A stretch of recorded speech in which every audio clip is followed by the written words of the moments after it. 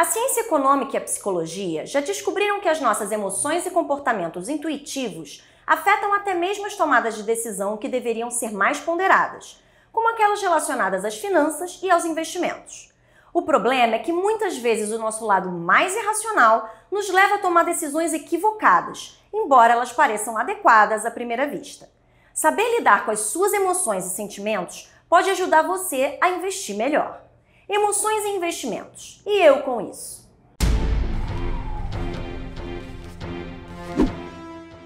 O nosso pensamento intuitivo e de curto prazo sempre teve uma função muito importante para nossa sobrevivência como espécie. Ele nos ajuda a reagir com rapidez a situações de perigo e leva a gente a se preocupar mais com as nossas necessidades imediatas do que com o futuro distante. O problema é que a intuição muitas vezes erra e a procrastinação nos leva a situações difíceis quando o futuro finalmente chega. A gente pode acabar fazendo compras por impulso, investindo sem fazer a devida análise ou deixando de poupar para a aposentadoria. Além disso, a gente tem uma tendência a adiar decisões financeiras importantes, como começar a poupar, quitar dívidas ou rebalancear a nossa carteira de investimentos. Um dos movimentos intuitivos mais comuns dos investidores no mercado é o chamado movimento de manada, que nada mais é do que fazer o que todo mundo está fazendo e seguir a tendência do mercado.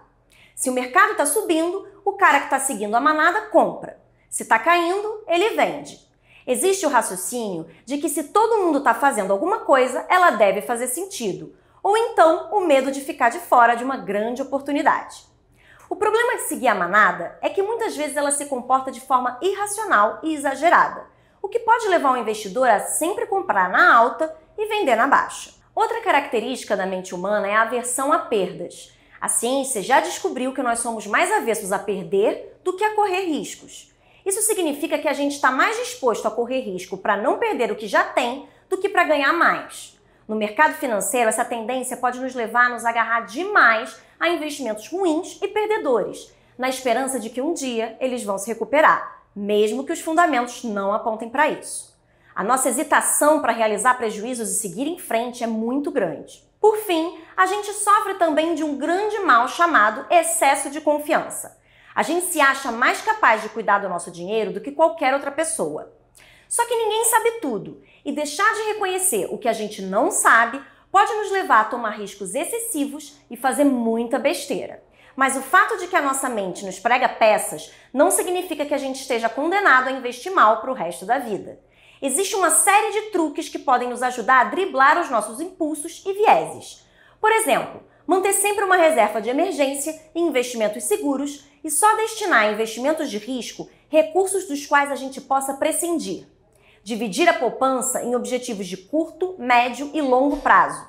Manter uma carteira diversificada com todas as classes de ativos, independentemente do momento econômico automatizar os nossos investimentos e a nossa rotina financeira ao máximo, para tirar a emoção e a procrastinação da jogada.